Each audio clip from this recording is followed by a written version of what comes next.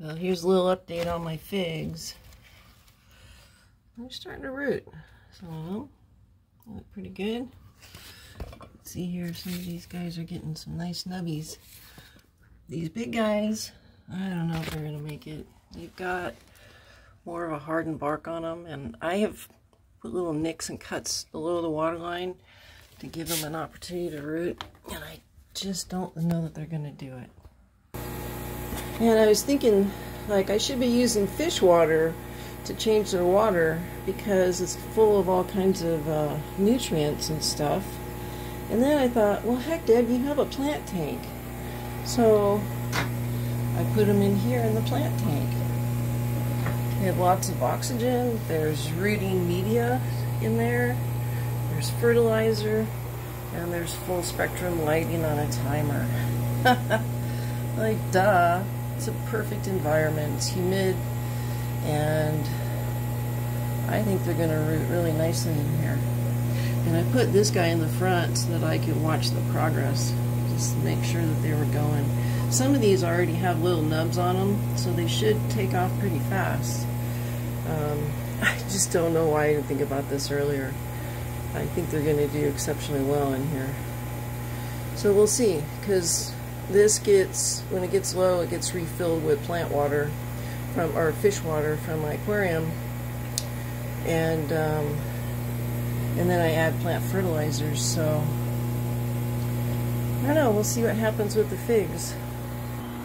And if it doesn't work, I can go out there and get more cuttings um, and try it again.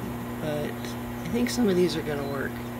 And I really only need about six figs myself, so we'll see. Yeah, this seems like a viable option here, so hopefully it'll work.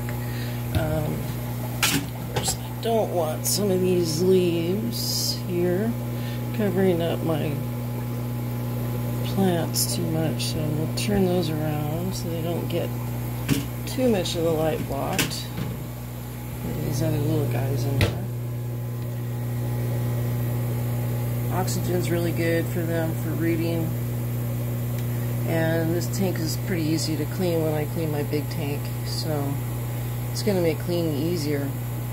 But I, I kind of thinking like this is a better idea. I don't know. There could be uh, compounds in here that are toxic to my few little plants I have in here. But um, I guess I'll find that out pretty soon, right? They're not my only uh, plants. I could start some more, but yeah. I don't know. We'll see. Maybe I'm going to have a better success rate with these smaller ones here, rooting in this kind of an environment. What are you doing, Eddie? Huh?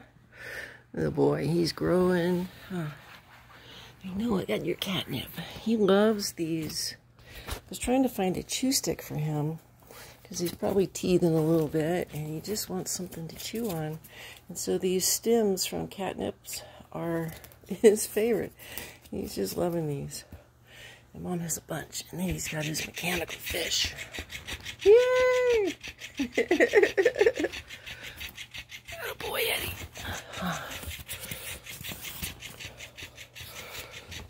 He's getting a bigger belly on him.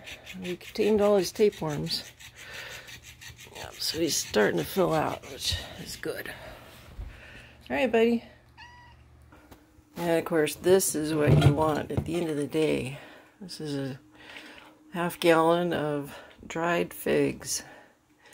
And um, these are going to be really, really good um, this winter to eat in my oatmeal and stuff. Um, after I dry them, I put them in a jar. I do put them in the freezer for a couple days so that if there's any insect eggs actually on the figs themselves, that that gets killed. And um, I found that that's the best way when you're drying stuff to make sure that you don't end up with those little mites and stuff in there that eat up your lovely figs or whatever you're processing. So all this effort for these little babies. Got a couple here in a shot glass. I'm giving them a chance because they're so little. But we'll see. But yeah, trying to make some figs. All right, everybody. Talk to you later. Bye. Mmm, yummy.